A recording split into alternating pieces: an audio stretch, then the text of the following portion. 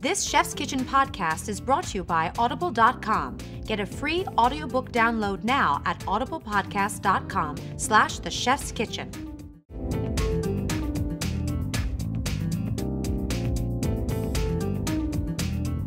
Making today one of my favorite all-time breads. It's a chocolate cherry bread. So what we're going to start with is our leavener. Okay. Okay, so it's using commercial yeast, which is perfectly acceptable. So any home baker could do this. Absolutely. Oh, perfect. Okay, very so good. we're going to start by um, using some water. I'm going to take about a quarter cup of water, Mm-hmm. and into that I'm going to dissolve uh, some some some dry yeast. Yeast. I'm going to just to activate it. I'm going to dissolve some sugar in that. Okay. Okay. So now I'm going to add in some uh, bread flour. I'm just going to stir this together, and it's going to become a creamy kind of pancake Yes. batter. Okay. So now I'm going to cover this and I'm going to allow it to uh, sit in a cool place in my kitchen overnight. So now it's overnight, and so now this is this is what we have. So Mm-hmm. this is our sourdough starter. So it's you can if you look really closely, you can see the very very tiny. Tiny air granules, bubbles. Mhm. yes. And we're going to start by putting that into our mixer. Okay. Then we're going to add our water.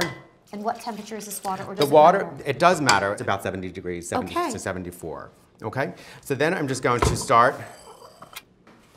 mixing that very gently, just to make sure that the starter is incorporated into the water. Mm-hmm. Then I'm going to add just a little burst Of yeast of, again? of, of more commercial yeast.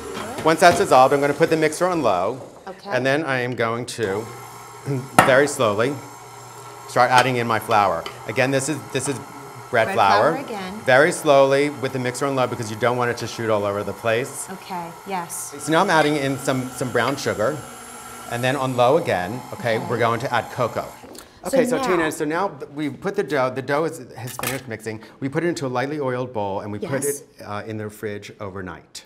So now uh, this dough, we're going to turn it out into a lightly floured surface. Okay. Okay, and then I have here two bannetons, and these are cloth, muslin cloth lined baskets. And I'm going to take some white rye flour, or you can use white rice flour, and I'm going to just dust and brush the inside. I'm going to cut this in half, evenly as It looks so possible. good even in this state, doesn't it? Ah. Have you ever shaped bread before? No, I have not. It's really easy. So take this. If you would, Yes. would you like to try? Sure, I would love to. So lift it up, okay. and I'll show you the easy way. And then Okay, you show me. Yep. And then just Take- take, that. okay, so just fold sort it of like- over, and then turn it.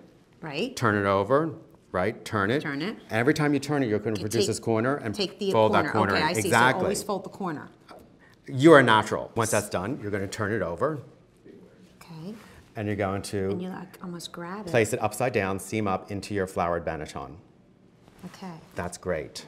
Okay. Now we are going to just cover these loosely with some plastic. Okay. And we're going to leave them out on the counter for about an hour until we see activity. Then we're going to put them into the refrigerator overnight. So now what I'm going to do, I'm ready to bake. You can see, you can test the, the bread, the loaf, by pressing, you can press that one. And you want it to Oh, hold yes. its indentation. Oh, I see. There you go, and that's perfect. a good sign. That means it's ready. Okay, so now I want to score the bread. So I take, um, I'd use a single edge Little razor, blade. yes. Okay. So I just want to make, I just want to make very, very specific cuts. The oven is at 500 degrees. I very, very carefully slide the bread in, and now what you want to do is I need to create steam to help it expand. You want to work fast because you don't want to let all the heat out of, out of the oven. Right. Okay. So I just spray, spray, spray, spray, spray, spray, spray all over the cavity oven. Be careful that you don't spray your light bulbs. Yes. Yeah. But otherwise, it's perfectly safe to, to, to, to do. Okay. Um, and uh, if I may, um, um, orange zest goes into that, uh, that dough Okay. as well, and that's uh, enhances again the chocolate flavor, Oh, and it's wonderful with cherries. I, oh yes, I love orange and chocolate.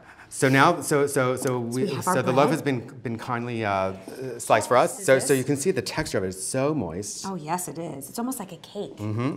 Really is almost like a cake. a brownie, it's a bread. velvety. What is it, right? When you eat this, what is it? Mm. Isn't that amazing? That is not a sourdough bread. No, Even though it is, but it's not. it's not.